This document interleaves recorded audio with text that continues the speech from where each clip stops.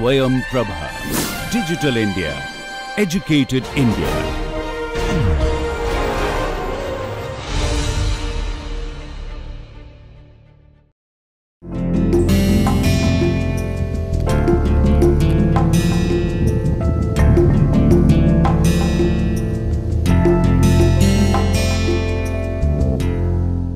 Let us start lecture 21.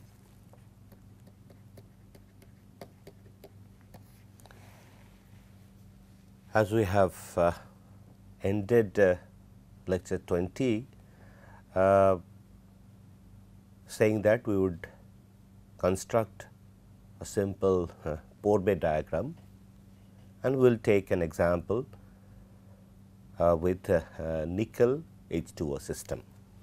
So, our job today is to find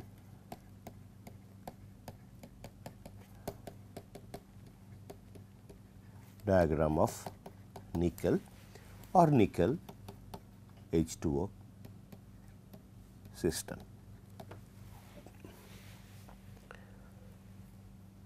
So, for that we have to see what are the reactions that are possible for nickel in H2O system and we can see that all the reactions can be categorized in terms of type 1, type 2, type 3 as we have discussed in our last lecture.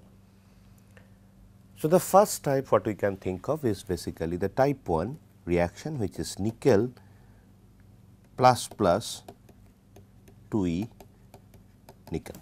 This reaction which is function of potential, but not a function of pH since there is no hydrogen ion involved in this reaction.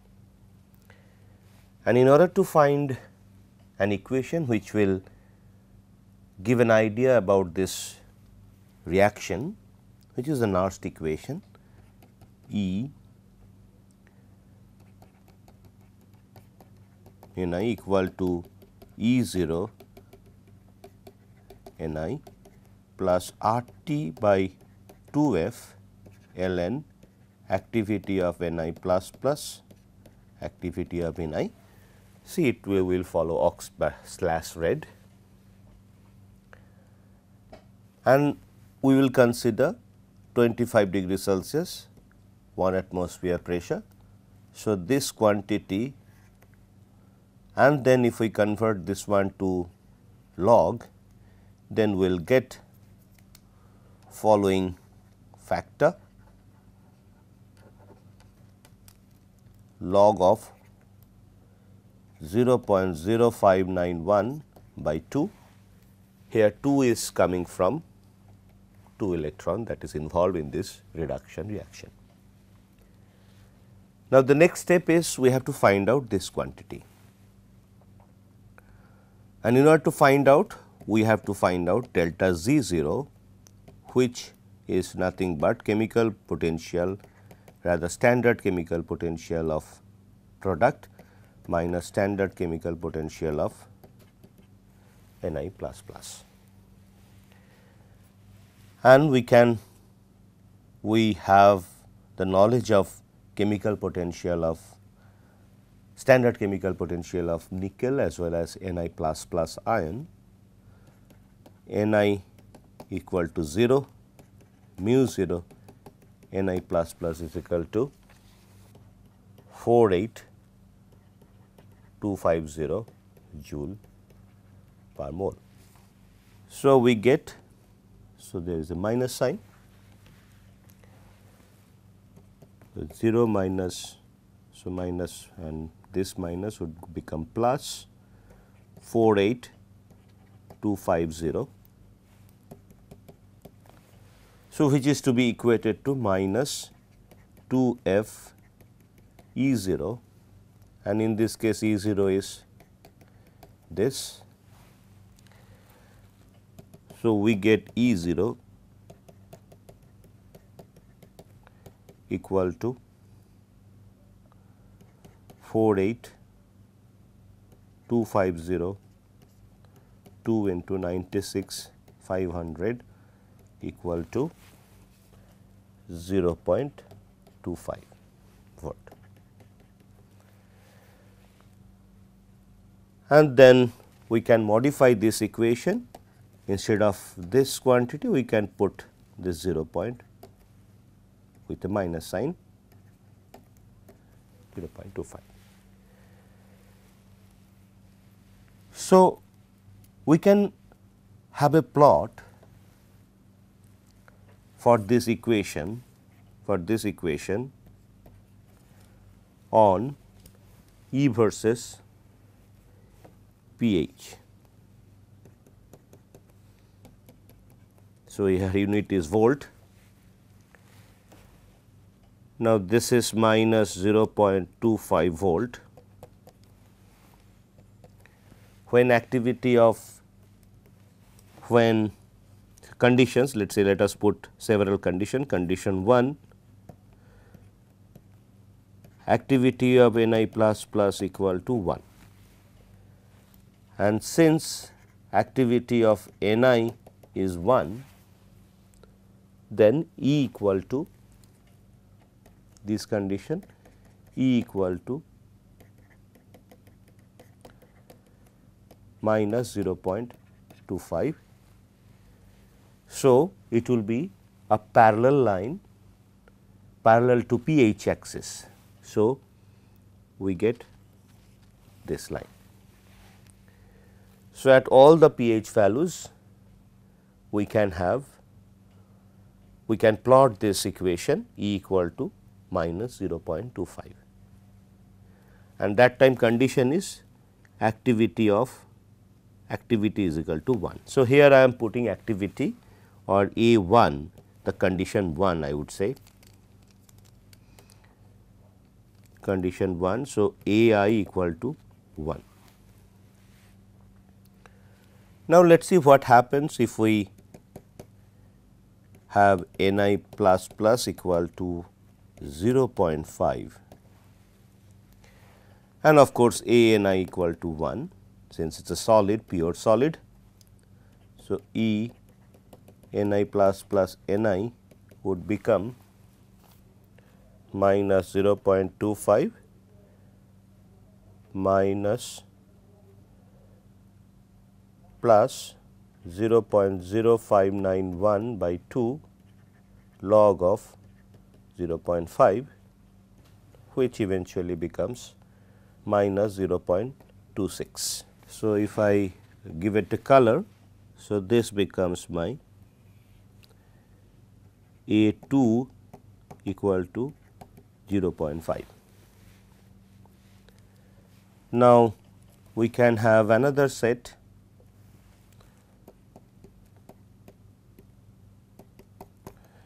A n i plus plus equal to 0.1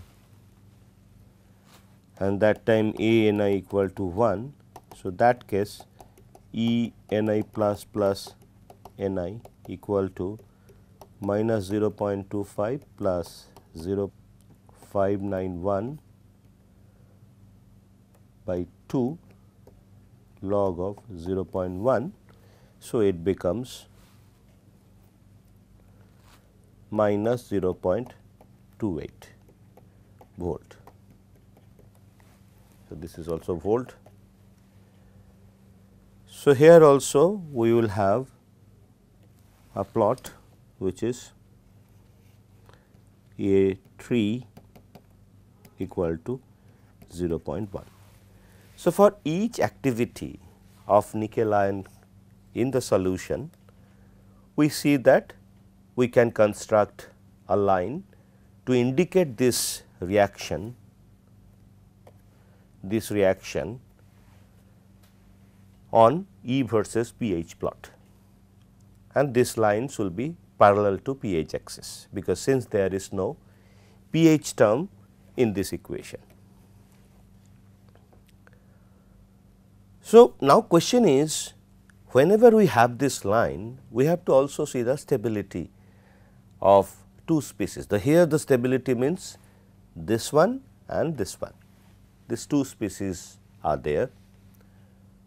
Now, question is which side would be my uh, nickel and which side would be Ni plus plus. For that let us assume let us assume that for a particular solution we can uh, measure the concentration of ions because once we have nickel in water we will see that nickel plus plus ion is forming. Now, let us say 10 to the power minus 6 that is the concentration of or in other word let us say activity Ni plus plus is equal to 10 to the power minus 6 that is the limit up to which we can measure the activity of Ni plus plus. But once the activity of nickel ion is less than 10 to the power minus 6, then we will not be able to detect anything. What does it mean? So, if we we if we cannot detect anything, so we would say that as if there is no nickel ion. So, then if there is no nickel ion that means the nickel is present only, no ion is present. This is one part.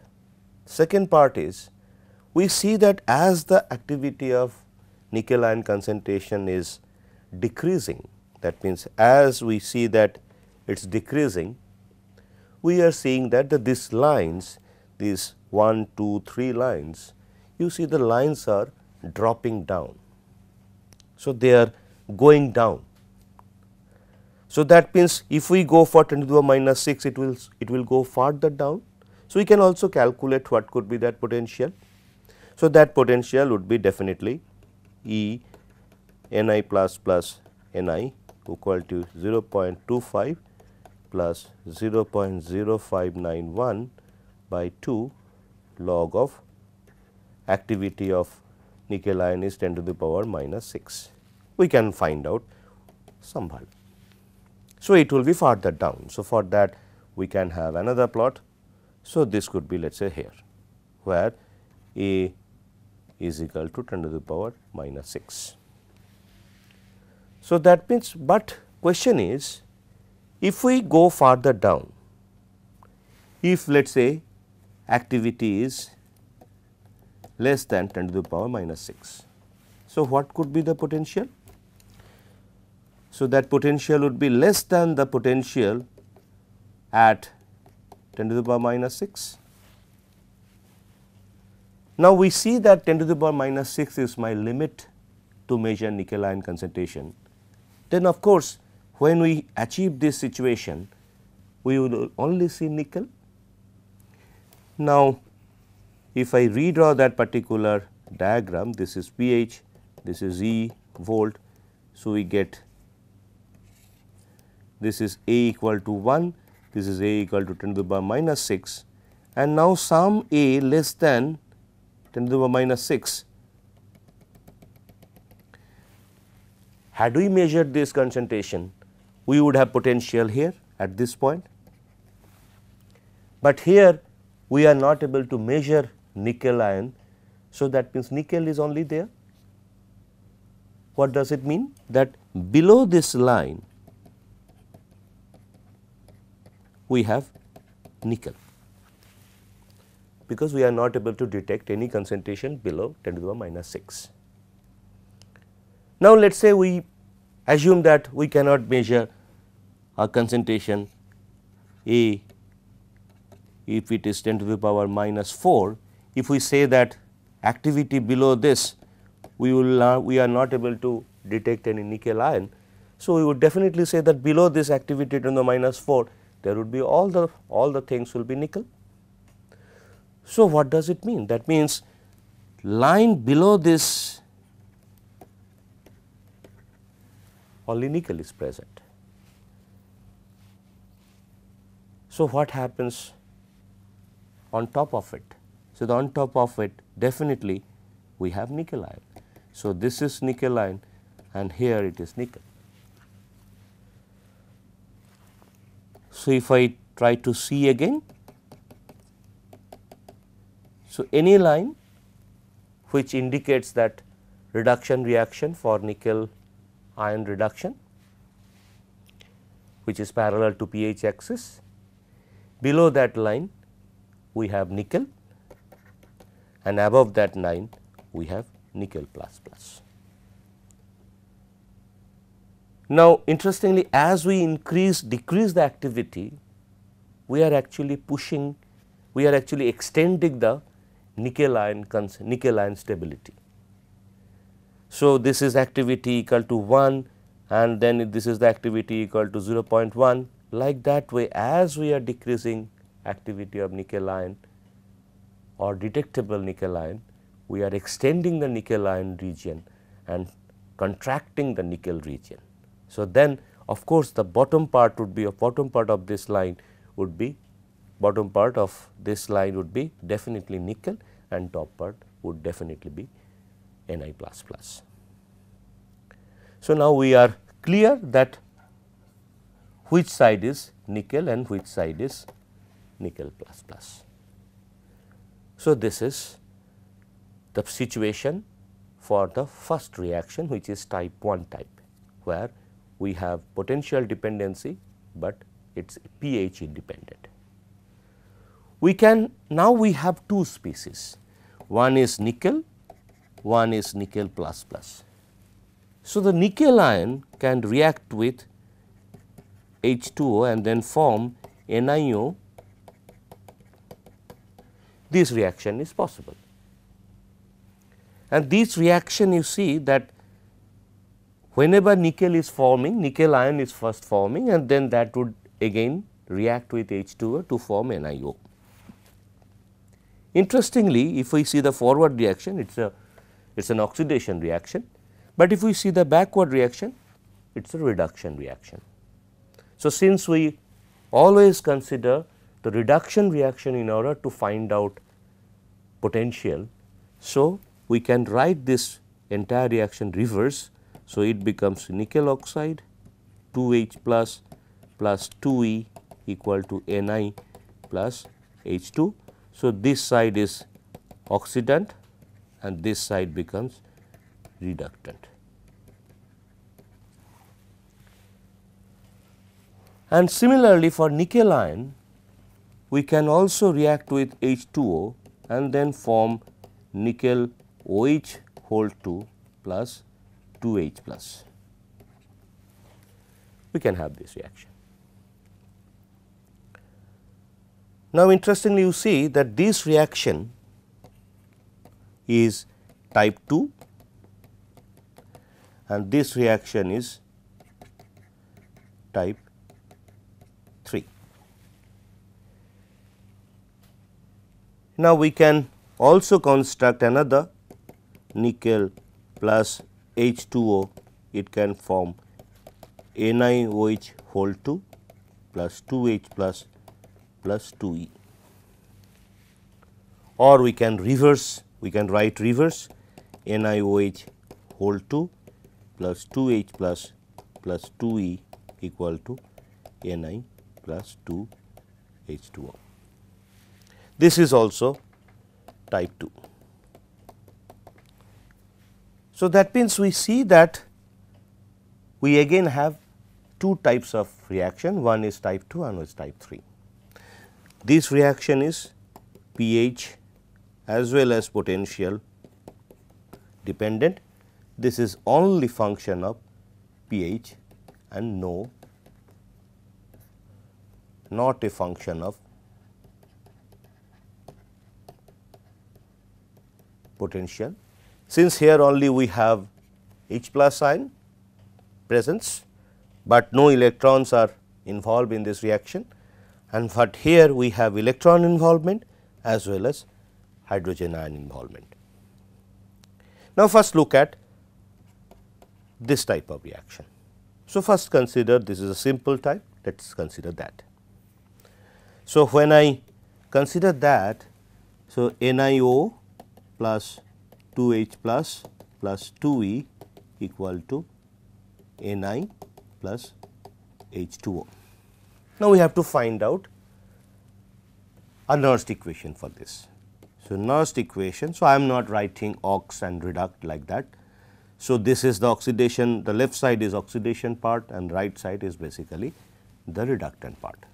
So, E 0 plus RT 2F ln activity of NiO, activity of H plus square, activity of Ni and activity of H2O. Now, since this is a solid and it is a pure solid, so it is 0, this is 0, this is also pure 0. So, we are left with A H plus. Now, if we assume that uh, the system is maintaining ideality, so A H plus we can consider with the concentration and then if we convert ln to log, so we can write the entire this particular stuff. In addition to this, we can write E 0 plus 0 0.0591 by 2 into 2 log of H plus or E 0 minus 0 0.0591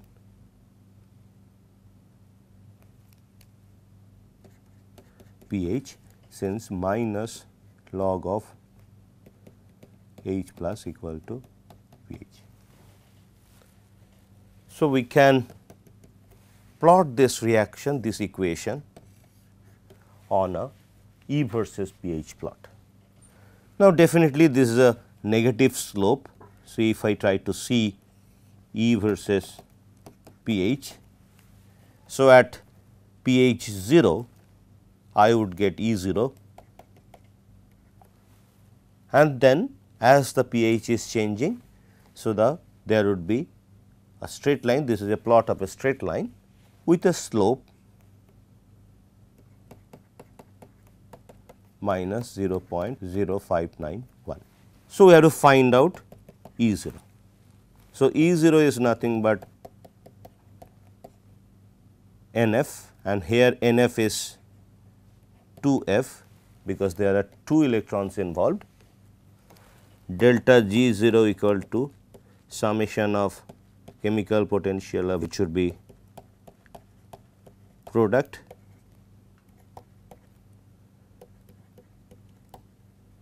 reactant.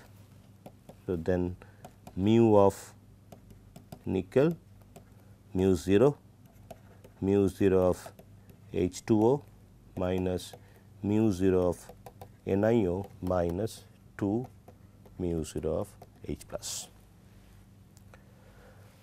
So, again we know that uh, mu 0 Ni equal to 0, mu 0 H plus equal to 0, these are convention.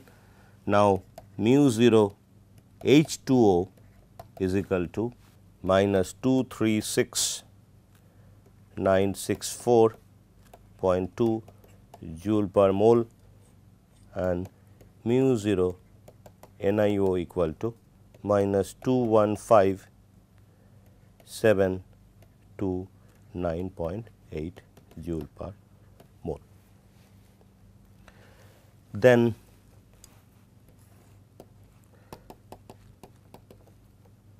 minus 236,964.2 plus 215 729.8 is equal to minus 21234.4.